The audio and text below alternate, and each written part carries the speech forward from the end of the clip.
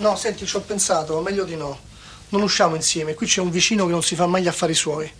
Ah, allora io ti aspetto alla fermata del pullman. No, io prendo il pullman, tu vai per conto tuo, non voglio che ci vedano arrivare insieme a scuola. Perché? Che te ne importa?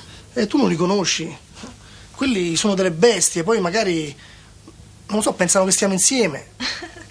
Ma non c'è niente di male. Eh no, c'è di male. Poi io non sopporto gli sguardi degli altri, poi qualcuno comincia a invitarci insieme a cena, poi spuntano altri due che dicono perché domenica non si va insieme al mare in quattro e poi altri quattro no, non mi va. Va bene. Io esco fra cinque minuti. Sì. Ah Bianca, poi al ritorno la stessa cosa, vado avanti io perché tu non hai la chiave. Allora vuoi che torni qui? Ah già.